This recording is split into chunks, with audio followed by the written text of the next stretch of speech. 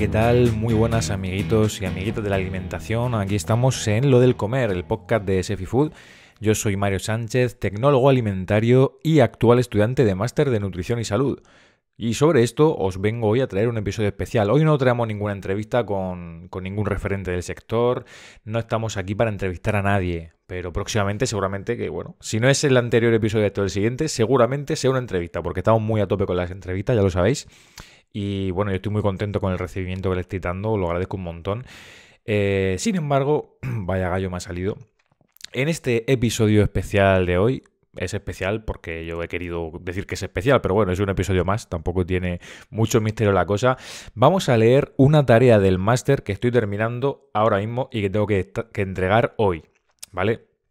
Mm, poca gente lo sabrá porque la verdad que como lo estoy haciendo un poco así, como se suele decir por mi tierra Murcia o por mi pueblo, yo, soy un pueblo que se llama Cabezo de Torres, de Murcia, que pocas veces lo digo. Lo estoy haciendo así un poco el máster a lo tragaperro. Quiere decir un poco así, pues como puedo, ¿vale? Tengo mucho lío. Eh, la divulgación cada vez de Sefifood, pues me requiere más tiempo. A tope con el podcast, con Twitch, con vídeos para YouTube. Y entonces el máster pues lo estoy haciendo muy poquito a poco, ¿vale? Lo estoy haciendo en la UOC, que es la Universidad Oberta de Cataluña, desde el año pasado, pero me cogí solo dos asignaturas, ¿vale? Como mucho me pregunté sobre el máster, tengo pendiente hacer una review o una revisión de, de estos estudios, pero claro, cuando los termine. Seguramente termine... No sé si terminaré el año que viene, ¿vale? Porque como os digo, eh, es un máster muy cómodo, ¿vale? Que se puede hacer, eh, puedes cogerte las asignaturas que quieras y todo eso, que por eso lo estoy haciendo yo para compaginarlo con, con el trabajo. Entonces yo empecé el año pasado, digamos en el segundo semestre y cogí solo dos asignaturas, ¿vale? Y ahora en este primer semestre de 2020, eh, si no me equivoco, no sé cuándo escucharéis esto, pero bueno, yo ahora estoy como en mi segundo curso, por así decirlo, en el primer semestre. Eh, pero en mi segundo semestre del máster. He cogido otras dos asignaturas, ¿vale? Vamos, que voy muy poco a poco, voy al mínimo porque no sé si me va a dar la vida y de hecho ya voy un poco apurado. Como os digo, estoy haciendo la tarea que hay que entregarla hoy. Ahora mismo estamos a 6 de diciembre a las 8 y 55 de la tarde-noche, después de esta mañana, pues haber hecho un directo en Twitch reaccionando a mi aparición en Saber Vivir. Ayer estuve editando todo el día el vídeo de los turrones de patatas fritas y turrones de sabores extraños, que madre mía, esto cuando lo escuché y diré, ay, el vídeo ese de los turrones que subió hace 60 meses, porque no sé cuándo voy a subir esto. Pero bueno, yo aquí 100% realidad y sabéis que soy que lo cuento todo, vaya, a los oyentes de este podcast lo cuento todo. Así que bueno, dentro de este contexto, que son casi las 9 de la noche, la verdad que he ido sobrado de tiempo porque otras veces he entregado la tarea a las 11 o a las 11 y 55 y había que, que entregarla a las 12. Ya lo tengo más o menos terminado, me falta poner algunas referencias y demás. Y voy a leeros eh, lo que he escrito, porque la verdad que me tira aquí un buen rato. Eh, han salido varias páginas de texto y creo que puede estar interesante, ¿vale? La tarea en esta ocasión, porque bueno, eh, yo digo, como va así un poco improvisado, veis que mi estructura narrativa está siendo nula. La tarea, porque este máster, este máster lo bueno que tiene es que no tiene exámenes, ¿vale? Va por tareas, por entregas, y eso está guay porque para los que trabajamos, pues nos libera un poco del tema ese de tener que estudiar ahora, que después de haber terminado la carrera, yo la hice de 2012, 2016, pues no he tenido, no he tenido que enfrentarme hasta el año pasado bueno, en 3-4 años he estado sin estudiar, digamos, de tener que enfrentarte a un periodo de exámenes, con todo lo que supone, todo el estrés, todo el rollo este. Y claro, hacer un máster que vaya así un poco más tranquilamente, como una evaluación continua, pues la verdad que está muy bien.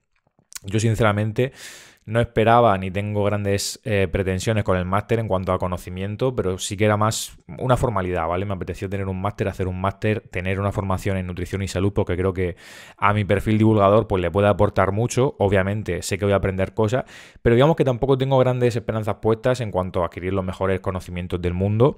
No porque el máster sea malo, sino porque sé que en general pues la formación eh, que yo persigo no es esa ahora mismo y que tampoco tengo todo el tiempo para dedicar. Entonces, bueno, es el rollo de, bueno, estoy haciendo un máster, entre comillas, a veces pienso, jo, estoy desaprovechando un poco el tema, pero es que como no me da la vida para más, pues sé que tengo todo ese material para consultarlo cuando pueda, ¿vale? Entonces, bueno, voy haciéndolo un poco como puedo. Y sin enrollarme más, que ya os digo, cuando tenga una visión más amplia del máster y pueda, pues eso, no sé si cuando lo termine, cuando esté en sus últimas fases, os haré una valoración más concreta de él. Voy a leeros esta tarea, ¿vale? Que es de una asignatura que se llama Alimentación y Sociedad, ¿vale? Es la típica asignatura Eh, bueno, voy a evaluar la asignatura sin haberme leído apenas el temario, pero él es la típica asignatura un poco que te relaciona un poco, pues eso, un poco, si queréis digo otra vez un poco más.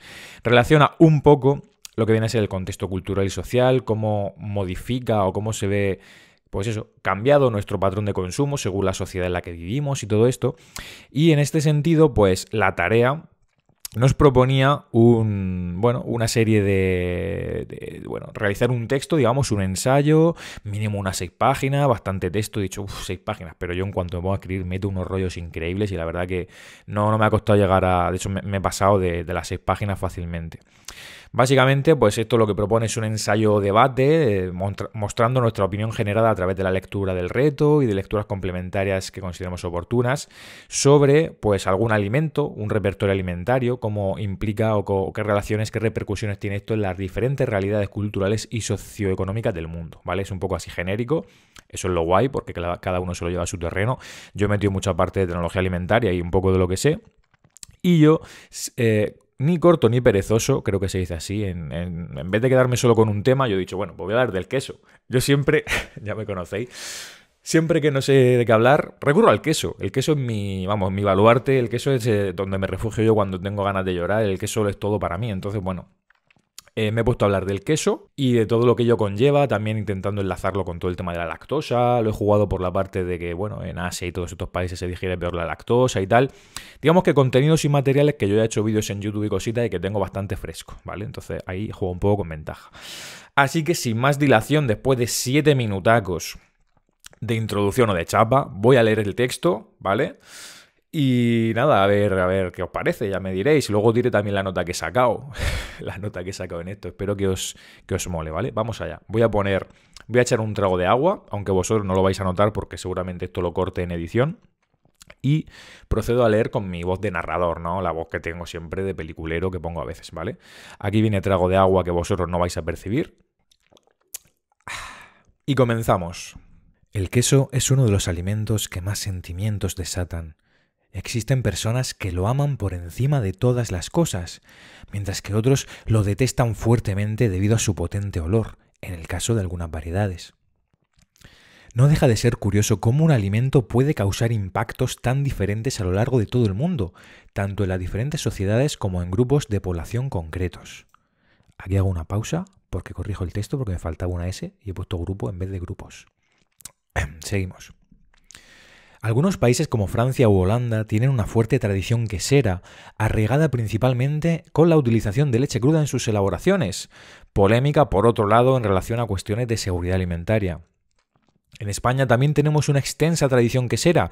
De hecho, contamos con varias denominaciones de origen que diferencian la calidad de estos productos, como por ejemplo el Cabrales, Idiazábal o el queso de Murcia albino, entre otros muchos. Podríamos decir que en toda la Unión Europea y Occidente en general, el consumo de queso y otros derivados lácteos es bastante importante, solo hay que ver la tradición fuertemente arraigada de consumir leche en el desayuno.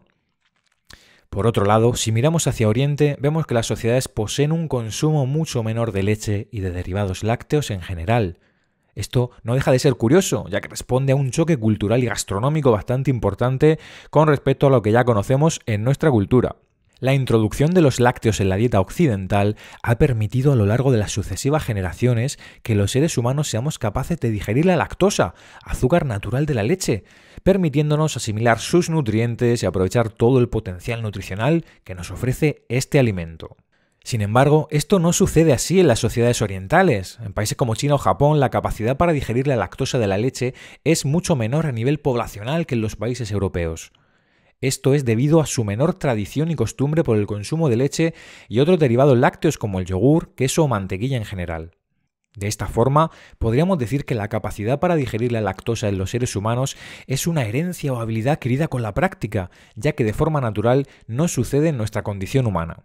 Con el paso de los años, los seres humanos vamos perdiendo nuestra capacidad para digerir la lactosa, quedando relegada únicamente a las primeras etapas de la vida, con el fin de poder ser amamantados por la leche de nuestra madre.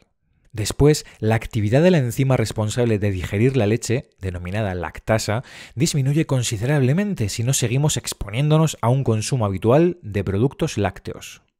La lactasa es una proteína que rompe la lactosa en dos monosacáridos, glucosa y galactosa, facilitando la digestión de este componente al ser dividido en dos subunidades menores. Esto explica la presencia cada vez más fuerte de alimentos y productos lácteos sin lactosa en los lineales del supermercado. Cabe destacar que a estos alimentos no se les retira la lactosa de forma artificial, sino que se les añade la enzima lactasa durante el procesado, lo que permite una digestión interna de la lactosa antes de ser envasado el producto.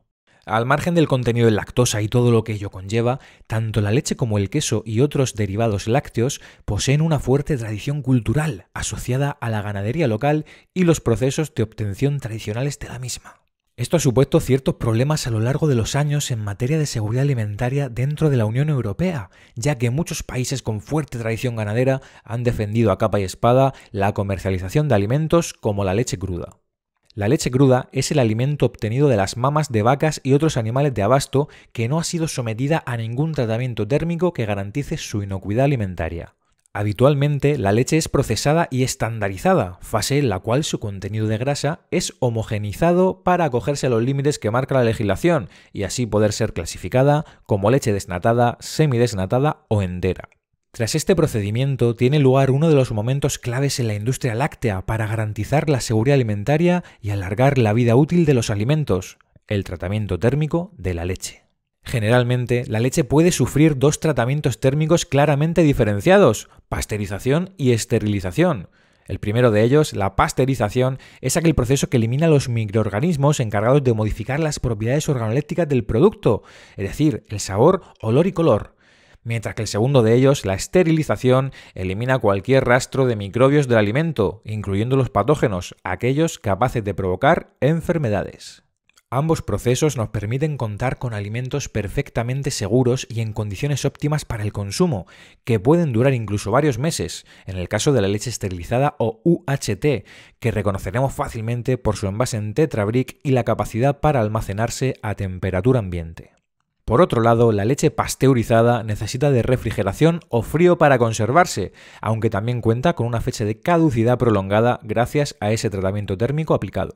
Es curioso observar cómo en algunos ámbitos culturales todo este proceso innovador y de revolución industrial en el sector ganadero se ignora por completo, abogando por una defensa ultranza de la leche cruda, obtenida directamente de la ubre de la vaca y sin ningún tratamiento térmico que garantice la inocuidad. Muchos factores intervienen en esta polémica y sería complejo abordarlos todos en este texto, pero sí considero que existe un fuerte choque entre la cultura y tradición y esa innovación tecnológica que tantos beneficios produce en la sociedad. El consumo de leche cruda conlleva frecuentes brotes de intoxicaciones alimentarias por salmonela, listeria y otros patógenos peligrosos en muchos países de la Unión Europea, como por ejemplo Francia. Sin embargo, no hay que irse a nuestros países vecinos para presenciar polémicas en relación a la leche cruda, ya que en España hemos tenido bastante revuelo con este tema en los últimos años, principalmente en relación a la aprobación en Cataluña de una regulación para la venta directa de leche cruda entre el productor y el consumidor, un hecho que no estuvo exento de polémica entre los distintos profesionales del gremio alimentario. No deja de ser paradójico, por otro lado, que tengamos los índices de sobrepeso y obesidad más altos jamás vistos en la sociedad, mientras que contamos sin lugar a duda con los alimentos más seguros, que no es lo mismo que saludables, en toda la historia de la humanidad. Esto puede verse reflejado en el choque cultural de la leche cruda y en muchos otros temas relacionados con seguridad alimentaria y nutrición a lo largo de los años. Sin ir más lejos, a pesar de que en España y en la Unión Europea en general veamos todavía con recelo la ingesta de insectos y otros animales que no están tradicionalmente asociados con el consumo alimentario, no deja de ser paradójico como en otra zona del mundo, tipo Latinoamérica o Asia, lleven consumiéndose de forma habitual muchísimos años. Esta concepción cultural se ha visto ligeramente sacudida en España durante los últimos dos años, con la inclusión de algunas variedades de insectos dentro de la categoría de nuevos alimentos que marca la legislación europea. Desde entonces hemos visto cómo multitud de empresas alimentarias se han zambullido de lleno en la creación de nuevos alimentos y productos con harina de insecto en su composición, como por ejemplo barritas energéticas y batidos proteicos. Estas acciones persiguen una estrategia clara, introducir de forma progresiva el consumo de insectos dentro de la alimentación humana, ya que pretender hacerlo de una forma mucho más brusca sería completamente inviable. Si en España se intentara comercializar insectos enteros a gran escala, como ya se hizo en 2018, el fracaso sería estrepitoso. Los consumidores españoles no aceptarían de la noche a la mañana la introducción en su dieta de un alimento tan poco habitual, a pesar de todos los beneficios nutricionales y a nivel medioambiental que pudiera aportar. Por ello, el camino marcado está bastante claro. Las empresas que comercializan insectos o productos a base de ellos no pueden aspirar a otras estrategias que no sean introducir pequeños porcentajes de harina de grillo o gusano en la composición de alimentos o productos procesados que ya están aceptados dentro del contexto cultural de la dieta occidental. Además de la situación global del consumo de lácteos y del choque cultural que nos ofrecen los insectos en la dieta, también existe un tercer elemento que nos puede servir para ilustrar sencillamente la importancia que llega a tener el contexto cultural y social dentro de nuestra forma de alimentarnos. Y es que también apreciamos choques culturales similares en la concepción de los organismos genéticamente modificados y transgénicos, que no son exactamente lo mismo, dentro de la Unión Europea y en Estados Unidos, por ejemplo, contando estos productos con muy mala prensa dentro del territorio europeo y viceversa si cruzamos al otro lado del charco. En Estados Unidos la comercialización y consumo de alimentos transgénicos está más que aceptado socialmente y suele ser algo habitual en los supermercados. Los transgénicos, entendidos como organismos modificados genéticamente que introducen genes de otras especies buscando una mejora tecnológica, pueden ofrecer grandes ventajas en la alimentación, permitiendo por ejemplo la creación de cultivos resistentes a plagas y de alimentos con ventajas nutricionales superiores, como cereales enriquecidos genéticamente con un mayor contenido en vitaminas, como sucede en el caso del arroz dorado rico en vitamina A un producto que podría ayudar a la prevención de la ceguera infantil en algunos países subdesarrollados. Esto, sin embargo, se percibe de forma diferente en la Unión Europea, región donde legalmente un país puede impedir la comercialización de un transgénico a pesar de contar con un respaldo científico detrás que garantice su seguridad alimentaria. Esta postura no deja de ser curiosa, ya que se prohíbe la comercialización o venta de muchos transgénicos seguros, pero no su cultivo. Sin ir más lejos, España es uno de los mayores países cultivadores de maíz transgénico resistente a plagas, variedad que se exporta fuera de nuestro país, ya que aquí no se comercializa. Y estaría, chicos y chicas, por aquí el artículo. Espero que os haya molado, que os haya gustado este artículo, esta entrega, esta tarea del máster. Que bueno, al final aquí me he enrollado y he soltado una chapa increíble sobre queso. He empezado, yo quería hablar del queso y me he ido del queso a la leche, a la intolerancia a la lactosa. Luego me he pasado a los bichos, a los insectos, que son siempre un recurso fundamental en mi persona. Y después he terminado hablando de transgénicos. Porque digo, joder, es que si no, no llego aquí a las, a las seis páginas que tenía que llegar. Y al final, pues he llegado. He llegado y, de sobra. Así que nada, espero que os haya resultado interesante. Yo creo que este título lo voy a, pues eso, lo voy a mencionar, lo titularé por los tres pilares eh, lácteos o intolerancia a la lactosa, seguramente, insectos y transgénicos, algo así, no sé cómo lo llamaré, pero bueno, una de las tareas del máster que hasta ahora ha sido la que más chicha o más libertad creativa, por así decir, ha podido aportar y más relacionada con la divulgación ha estado, aunque tengo por ahí otras cosillas que pueden estar guays. Y bueno, se me ha ocurrido que al igual que hice con otros textos del blog, pues podría estar bien, ¿no? Leerlo y comentarlo, ya que creo que puede aportar bastante al podcast sobre tres temas tan interesantes que son, pues eso, el consumo de lácteos, eh, insectos y los transgénicos. Yo creo que los tres de los tres bastante asociados con el objetivo de esta tarea, ¿no? Con el tema de, del consumo cultural, de cómo se perciben los diferentes alimentos. Así que nada, súper contento, espero que os haya molado. Muchas gracias a todos por escuchar este episodio de Lo del Comer. Si os ha molado, si os ha gustado, pues os agradecería mil que lo compartierais con vuestros amigos, con gente del sector, del gremio alimentario o no, gente que creéis que le puede interesar este contenido. Y por supuesto, pues que os suscribáis a las plataformas de podcast, que le deis a me gusta, que lo compartáis. Ya sabéis que según donde lo estéis escuchando, pues el funcionamiento es diferente. También lo veréis en YouTube. Eh, en este caso sin imagen, eh, una imagen estática seguramente de lo que es la portada del podcast. Y nada, podéis darle ahí mucho amor, compartirlo por todos sitios, suscribíos, darle a me gusta, en fin, no, no me repito más lo dicho. Y nada más, muchas gracias como siempre por el apoyo y nos escuchamos y quizá nos veamos en el próximo episodio de Lo del Comer. Un abrazo y hasta pronto.